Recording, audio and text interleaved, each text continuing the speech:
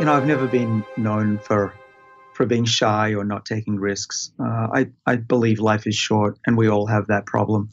And the faster we can figure this stuff out, the better for all of us. Um, and you know, there's no point in us realizing at the end of our lives we were born one or two generations too early to reap the benefit. So yeah, I'm, I'm in a rush. I, I, I, want the world to reach the place that I know it's going to reach, uh, a world that's as different today as we are from 100 years ago in terms of medicine. Uh, and so, yeah, it was an interesting journey. I, I like to push boundaries scientifically. Um, I think that you know I've, I've read a lot of scientific history, and you know no no theory lasts forever except maybe the second law of thermodynamics.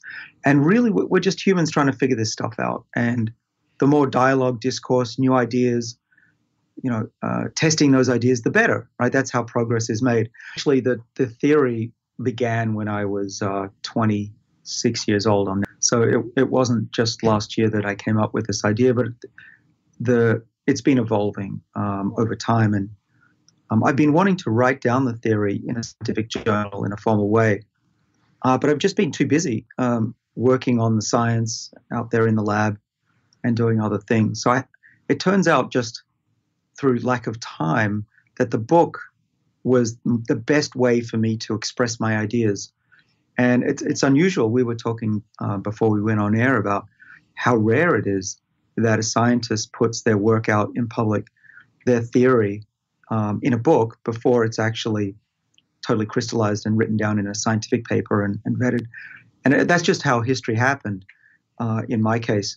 But the idea has start, began really with yeast cells. We were studying yeast cells and the silent information regulators, these SIR proteins that we've been working on. That word information has been there since the beginning, uh, going back 25 years ago. And how is information tied into aging itself?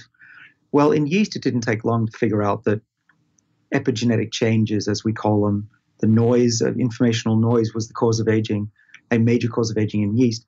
But it's taken us, oh, the better part of uh, two decades to test and to understand whether that was true for us.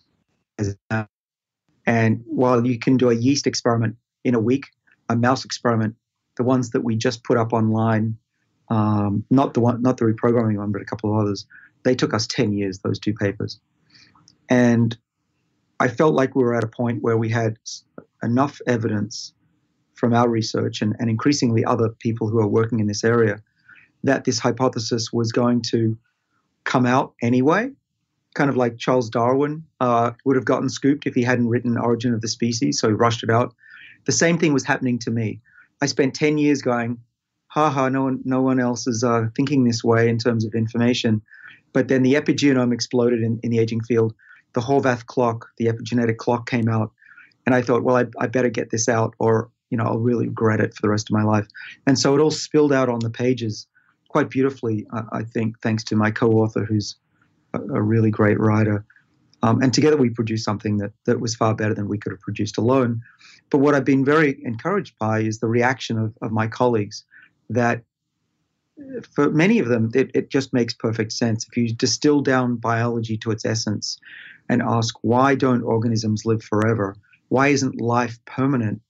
It's got to be information loss. There's nothing else it could be.